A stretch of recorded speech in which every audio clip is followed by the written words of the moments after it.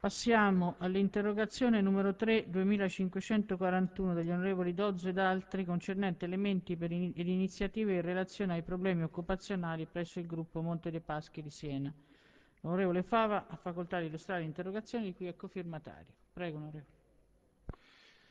Grazie Presidente, grazie Ministro Fornero della sua presenza.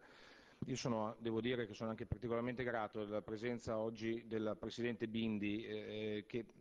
credo che nessuno meglio di lei in quest'Aula conosca bene quali siano e quante siano le responsabilità di una certa parte politica rispetto alla vicenda che si è creata in quel di Siena, intorno a Montepaschi, ma non solo a Siena.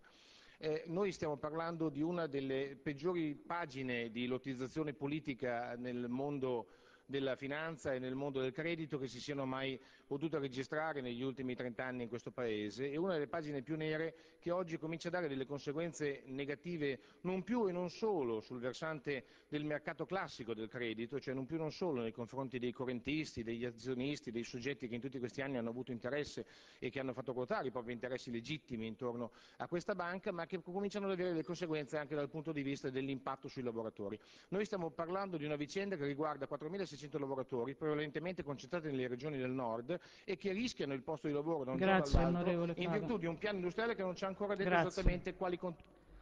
Il Ministro del Lavoro e delle Politiche Sociali Elsa Fornero ha facoltà di rispondere. Eh, grazie, io devo dire che rispondo a questa interrogazione Uh, peraltro da una prospettiva che è quella che riguarda non tanto le vicende della banca in quanto tale, eh, sulle quali io non ho informazioni che mi potrebbero consentire di dare una risposta adeguata, ma invece rispondo dal punto di vista delle vicende forse anche eh, più eh, diciamo cariche di sofferenza umana che riguardano eh, il lavoro e quindi l'occupazione eh, presso Montepaschi. Devo anche dire che a oggi eh, non, è non, è stato richiesto alcun intervento del Ministero e non è stato neanche richiesto l'apertura di un tavolo. Eh, so che eh, trattandosi di settore bancario c'è la possibilità di usare fondi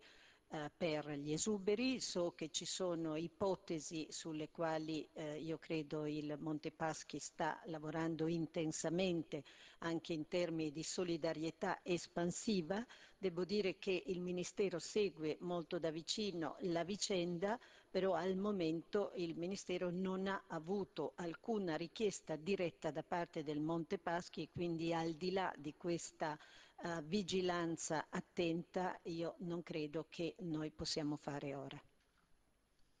Grazie. Ministro, ha facoltà di replicare l'onorevole Fava.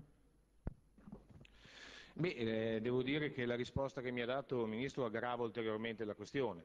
cioè che ehm, si debba attendere che arrivi una richiesta dal Montepaschi per risolvere il problema dei 4.600 esuberi o cosiddetti tali, dei quali 2.300 rischieranno a breve il posto di lavoro, potrebbero diventare anche 1.600 poi in realtà, se alla fine la politica che ha generato questo disastro, cioè il Partito Democratico, decidesse di salvare Siena, visto che a Siena ci sono le elezioni, ma in assenza di questo scenario, in ogni caso, io credo che sia un suo dovere convocare Monte dei Paschi di Siena quanto prima, per capire quali siano le intenzioni reali, per capire quali siano le vere ricadute occupazionali, perché stiamo parlando di un mucchio di persone che domani si potrebbero rischiare di trovarsi in strada in virtù di un meccanismo di, di cosiddetta esternalizzazione e che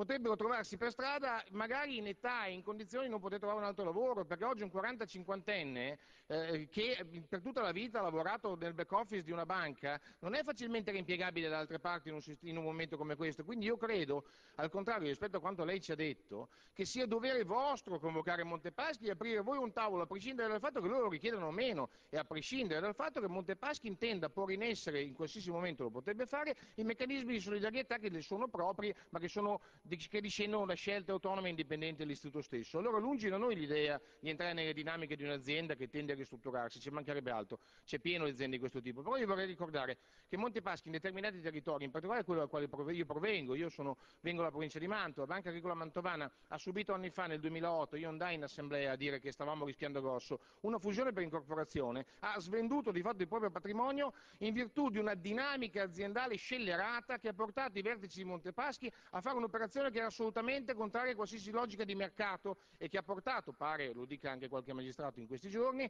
a far sì che si pagasse la partecipazione in Banca Anton Veneta due, forse tre volte in più di quello che era il valore eh, realmente stabilito dai mercati dei mercati normali. Allora, in una situazione di questo tipo io mi chiedo, se non si muove il governo, chi dobbiamo aspettare che si muova?